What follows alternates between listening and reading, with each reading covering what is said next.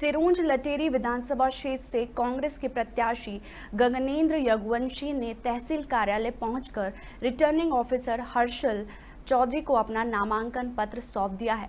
सूत्रों के अनुसार इस विधानसभा से क्षेत्र पहला नामांकन फॉर्म कांग्रेस प्रत्याशी गगनेन्द्र रघुवंशी द्वारा जमा किया गया। नामांकन पत्र जमा करने से पहले उन्होंने छतरी नाका स्थित हनुमान मंदिर से यात्रा शुरू की और महात्मा गांधी की प्रतिमा पर मल्यार्पण कर मदन मोहन सरकार के दरबार में पूजा अर्चना कर विजयश्री की कामना की। इसके बाद वह अपने निवास स्थान लिंक रोड से होते हुए कांग्रेस कार्यकर्ताओं के साथ एसडीएम कार्यालय पहुँचे और अपना नामांकन पत्र जमा किया।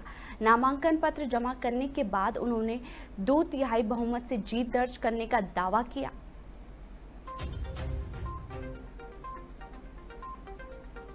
चुनाव तो बहुत भारी होते हैं लेकिन हमारी मेहनत हमारी पब्लिक के साथ जो जुड़ा है इसलिए हमारा चुनाव बिल्कुल बिल्कुल अच्छी लीड के साथ हम जीते हैं जीते।